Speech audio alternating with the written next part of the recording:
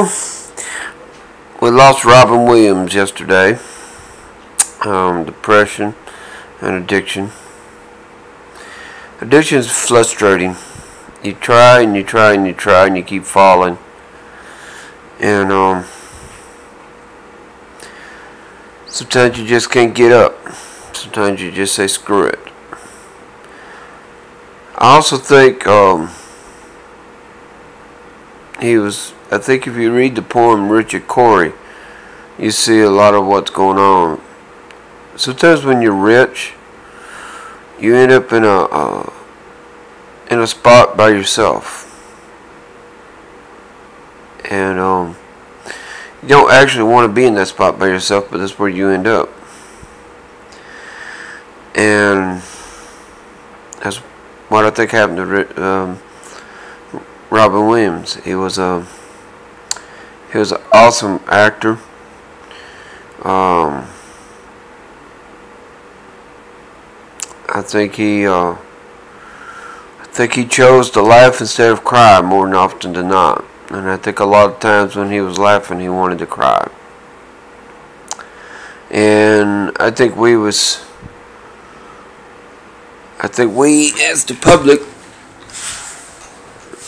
was caught up in the. Um, laughter and the jokes, and we missed the the pain that he was feeling.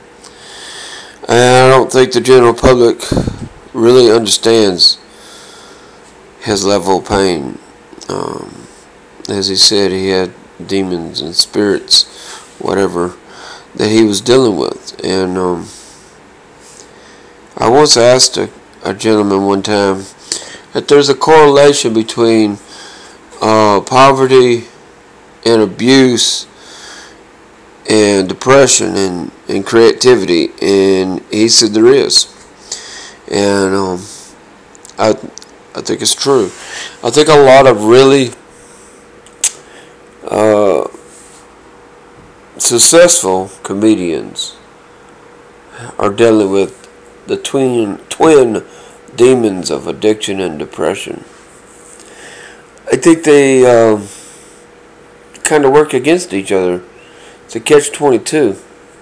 You get depressed, and then you find something that makes you happy.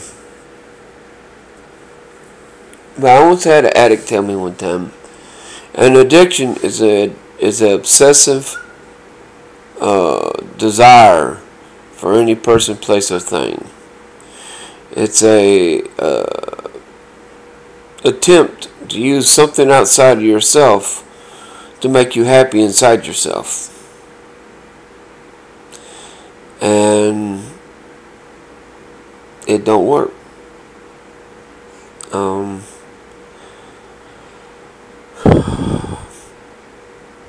the, te- the suicide is a, um, a final solution.